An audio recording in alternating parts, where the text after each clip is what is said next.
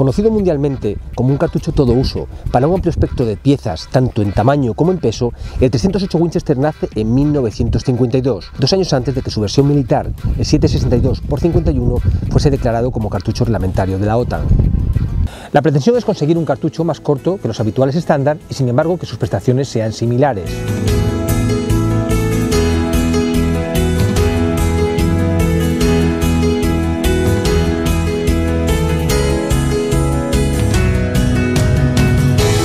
Se toma entonces como base al 3006 Springfield, al cartucho americano más conocido, al icono, acortando su vaina de 63,30 a 51,18.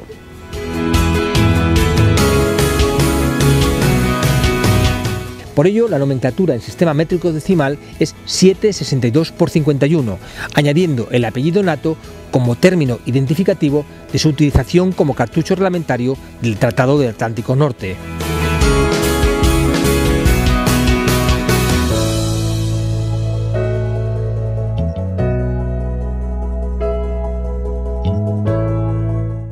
Es fácil adivinar que como seguidores incondicionales del 3006 Springfield, la idea era fabricar una réplica en prestaciones que trabajase en acciones más cortas, con un menor volumen de vaina y un ligero incremento de presiones.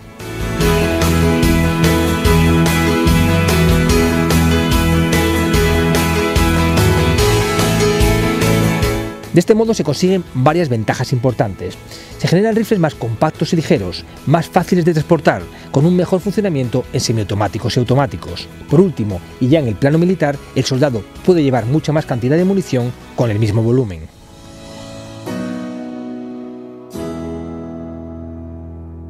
Y es que precisamente ser el cartucho reglamentario de la OTAN le permite un nivel de desarrollo y difusión imposible de alcanzar por un cartucho civil. Tanto las pruebas que se hacen con él como la cantidad de munición fabricada y disparada ofrecen un conocimiento absoluto de su comportamiento.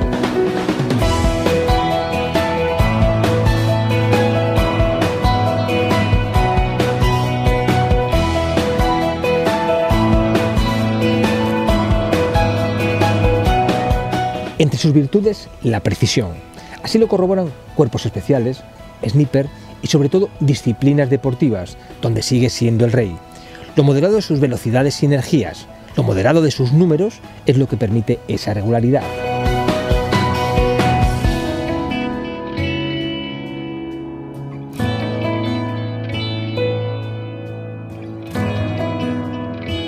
La Factory Load con puntas de 150 grains es de 860 metros por segundo, 799 con las de 180. En general tenemos, respecto al 3006 Springfield, una pérdida de unos 100 pies por segundo, es decir, unos 30 metros por segundo menos. Para que se haga una idea de lo que este dato significa, a 25 metros el 3006 va a la misma velocidad que sale en boca el 308 Winchester. ¿Y esto qué significa? Pues sencillamente que en la práctica estamos ante dos cartuchos con un comportamiento casi idéntico y por ello las recomendaciones que hacemos para el 3006 Springfield sirven también para el 308. El 308 Winchester no es un cartucho especialmente rasante.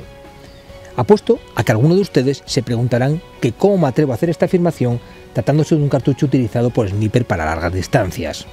Créame si le digo que son dos cuestiones completamente distintas. Una cosa es que su precisión y trayectoria sea previsible y uniforme y otra muy distinta que sea tensa.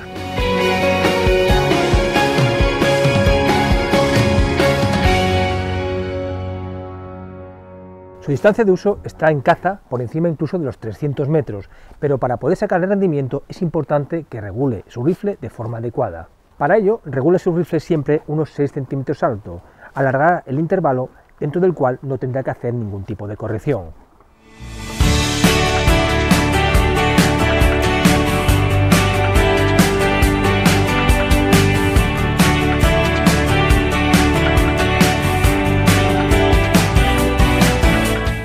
Mire, esta es una breakneck Classic de 185 grains.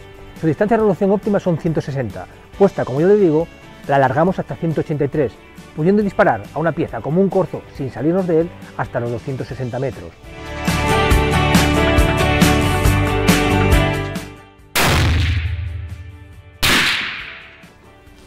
Un buen conocimiento de su trayectoria nos permitirá cobrar caza en rececho incluso mucho más allá. Para ello debemos tener especial cuidado con la elección del coeficiente balístico de los proyectiles cargados. De esta forma conseguiremos trayectorias más tensas, pudiendo cobrar caza con la menor corrección posible. Los coeficientes balísticos más eficientes se consiguen con las puntas de 168 grains. Para caza mayor en general nos moveremos entre 150 y 180, aunque existen pesos, tanto por abajo como por arriba, que pueden ser válidos para determinadas modalidades. Mentalícese, estamos ante uno de los grandes y por ello tendremos una oferta amplísima donde elegir, pudiendo en determinadas ocasiones confundirnos tanta variedad.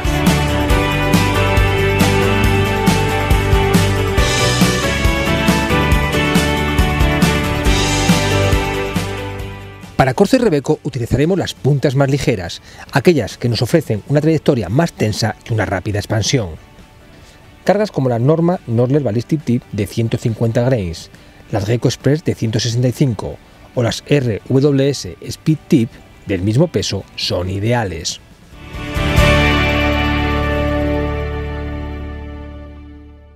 Todos sabemos que con las armas debemos tener todas las precauciones posibles, y una de ellas muy importante es tener mucho cuidado con la limpieza del cañón. El ánima de un arma de fuego debe estar perfectamente limpia y seca, sin aceites ni vaselinas o grasas. Cualquier objeto extraño, un trozo de trapo, un trozo de vegetación, tierra, barro e incluso agua o nieve pueden producir un accidente si disparamos sin limpiarlo. Si ve que el cañón de su rifle está obstruido, no dispare, límpielo primero. Piense que en el mejor de los casos, esa obstrucción acabará con su rifle, en el peor de ellos puede costarnos la vida. Mire este Browning Ball 270 Winchester. Tenía algo de nieve, o tierra, o barro dentro del cañón y su dueño, sin darse cuenta, disparó un jabalí. Lógicamente no lo tocó. Pensó simplemente que había fallado a cascaporro, pero pronto comenzó a darse cuenta que su rifle no agrupaba. El motivo eran estas hernias o abultamientos que se produjeron cerca de la boca del cañón el día que disparó con el sucio. Literalmente infló el tubo al pasar el proyectil. Siempre hemos de procurar proteger la boca del cañón de la entrada de objetos extraños y una forma muy sencilla es con cinta aislante. Un trocito sobre el brocal y se acabó el problema. Da igual que llueva, nieve o andemos entre maleza. Y si dispara con ella puesta, no pasa nada. Estas mismas cargas de 150 y 165 grains utilizadas para corzo y rebeco también son válidas para el resto de especies mayores, incluidos venados y arruis, aunque está claro que para ellos sería mejor puntas que nos garanticen un canal balístico más largo. Proyectiles soldados como los Winchester Power Max de 150 grains, los Brenneck TOG de 165 o los RWS Evolution de 184 o dobles núcleos como estos Norler Partition de 180 montados por Norma.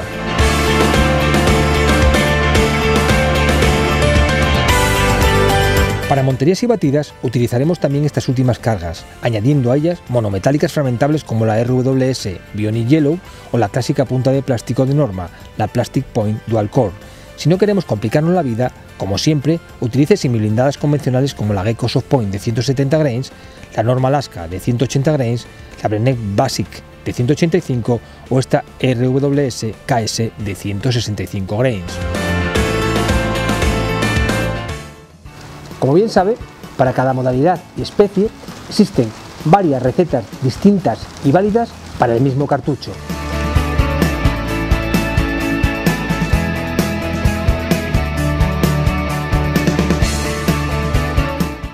Miren, aquí tengo cuatro proyectiles distintos cortados para ver su estructura interna. De cada uno de ellos existen puntas adecuadas para cazar venados a rececho, por ejemplo, con el 308 Winchester. El primero de ellos es un proyectil semiblindado convencional, una punta blanda, un soft point, un núcleo de plomo revestido por una camisa de cobre que se abre por la nariz. Al impactar se deforma como un hongo multiplicando su diámetro frontal. Lo que ocurre es que esa expansión no siempre es como sería deseable, algunas veces es prematura y otras excesivamente lenta.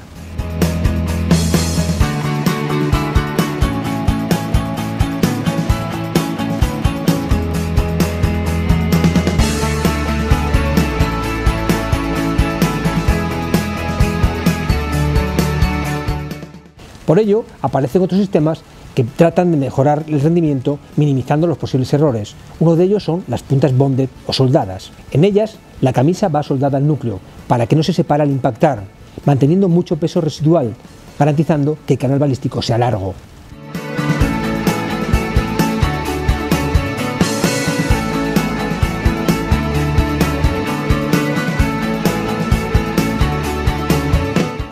Otro tipo son los doble núcleos, una parte blanda y otra dura, una para que expanda y otra para que penetre. Generalmente hay dos sistemas, los tabicados, como este Norler Partition, donde la camisa forma un tabique solidario que tras la expansión convierte al núcleo trasero en un proyectil blindado, y los de diferente dureza de núcleo, como este RWS Evo Green o este Prenectig.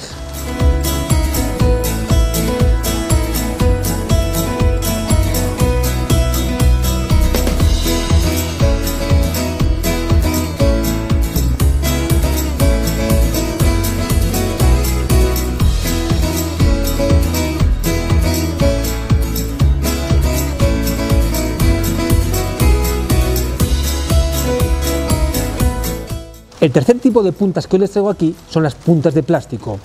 Son sencillamente puntas huecas a las que se ha añadido una caperuza de polímero para mejorar su vuelo. Las de primera generación, como esta Norlel Ballistic Tip, son muy expansivas, pudiendo desintegrarse incluso al tocar la piel. Por ello aparecen las puntas de plástico de segunda generación, puntas de plástico soldadas, como esta Swift Styroco Bonded.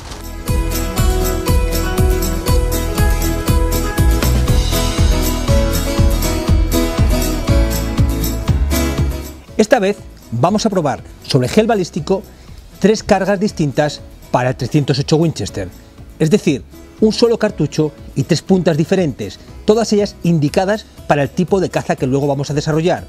Una punta semi-blindada, un proyectil soldado y una punta de plástico de primera generación. Primero vamos a disparar con un semi-blindado, el proyectil tronco cónico de RWS, la KS en este caso de 165 grains.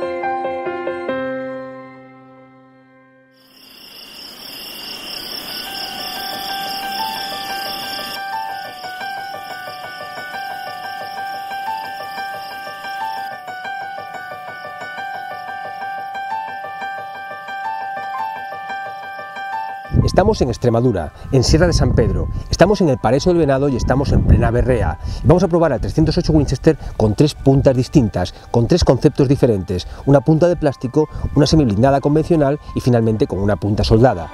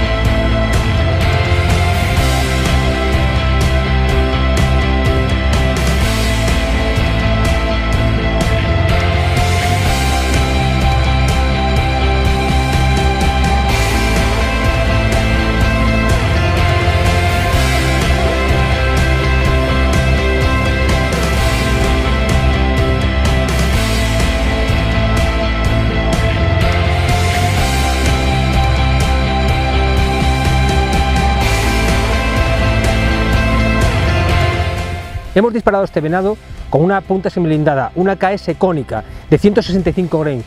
La distancia algo menor de 100 metros, unos 95 metros. El disparo ha sido justamente en la paleta, en medio de la paleta. Con el tamaño del animal no ha sido capaz de salir el proyectil, pero como habéis visto ha caído eh, fulminado. Evidentemente estamos ante un peso y un tipo de proyectil óptimos para este tipo de piezas.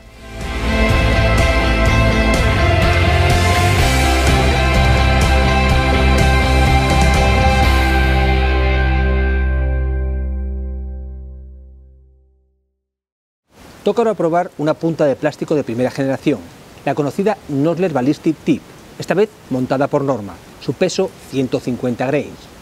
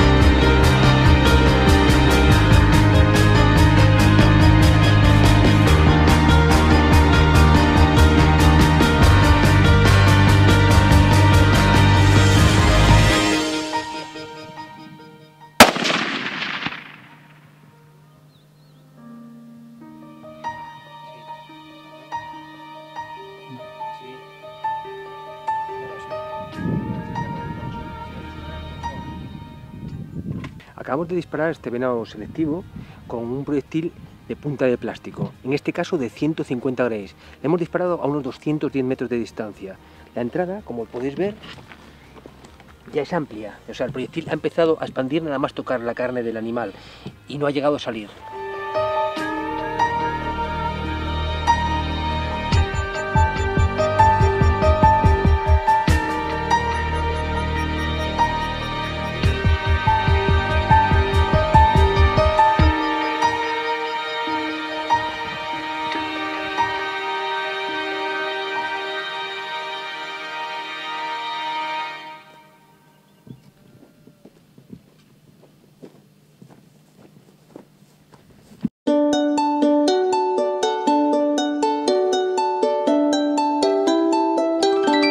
Finalmente vamos a ver el comportamiento sobre gelatina de una punta soldada, el conocido alemán Evolution de 184 grains.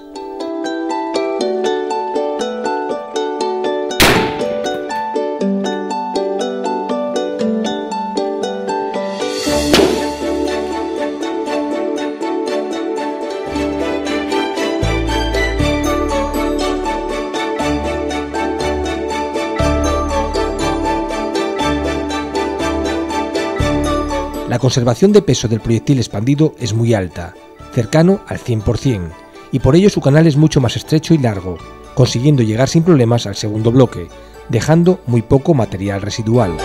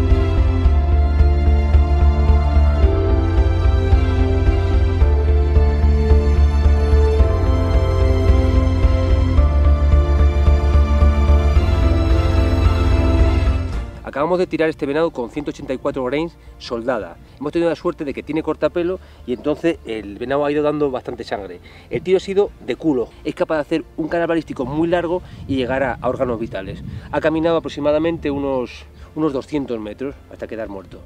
El cortapelo, el escalón que se ve aquí en, en el proyectil, lo que hace es sacar como si fuera cortar, como si fuera un sacabocados la piel para que a partir de ahí salga la, sangre por él, sin, que se cierre. Otro tipo de puntas que no lo tienen, la piel se contrae, se cierra y no sale sangre. Y así va dando sangre siempre.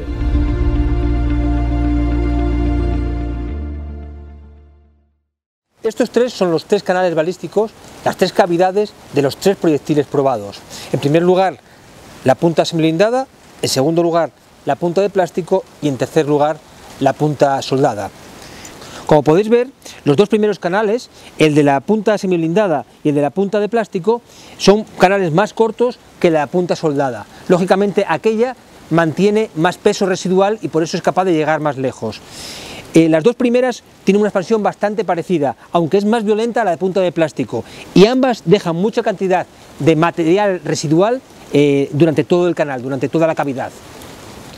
La punta soldada, al tener la camisa solidaria al núcleo, consigue un canal balístico mucho más largo, porque no pierde prácticamente nada de peso tras el impacto. Una visión general comparativa de los tres canales deja claros para qué está hecho cada uno de ellos. El soldado para piezas grandes, la punta de plástico para las piezas más pequeñas y el semiblindado es una punta que sirve para todo, para especies grandes y pequeñas, es un todoterreno.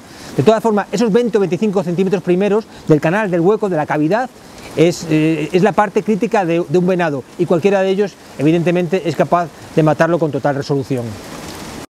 La vaina de 308 Winchester se ha consolidado como una de las mejores para la creación de nueva cartuchería. Entre sus hijos están cartuchos tan conocidos como el 243 Winchester o el 7 mm 08 Remington.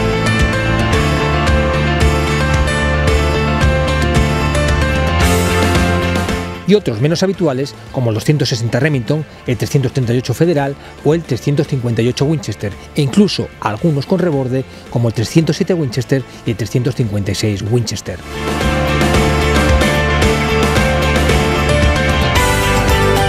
Sus rivales están entre los estándar medios, desde los 270 Winchester, 7 mm 08 Remington, 7 x 57 Mauser, 7x64 Brenek, 7x65R, 280 Remington, 3006 Springfield, los 8x57 JS e incluso el 9,3x62. Frente a ellos se muestra como moderado y a la vez eficaz. En general, no llega a las prestaciones de la mayoría, pero su tremenda oferta le permite moverse con dignidad en casi cualquier cazadero.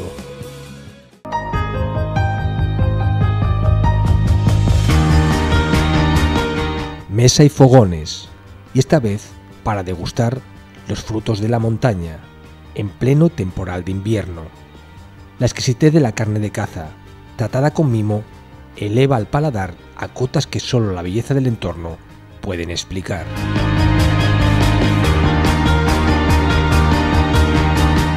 Pues vamos a empezar a marcar el solomillo de venado. Mientras hace el solomillo, vamos a marcar, hacer la salsa.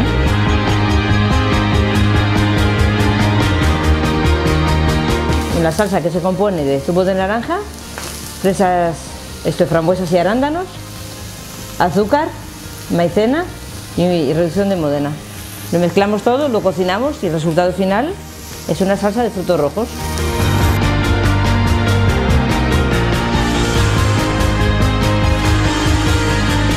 El solomillo de venado es una parte muy jugosa, pero que sabe, mm, tiene una textura eh, más blanda de la carne normal y aparte tiene un sabor como a hígado.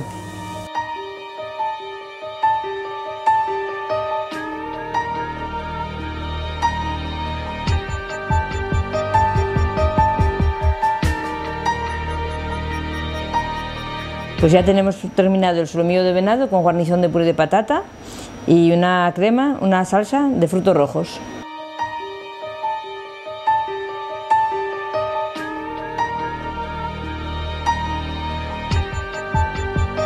Papá, papá, tu chaleco y la gorra naranja.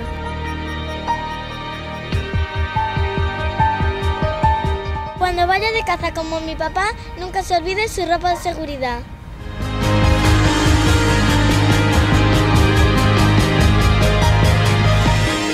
Si te ha gustado este vídeo, no olvide darle a la campanita y seguirme en mi canal de YouTube. ¡Viva la caza!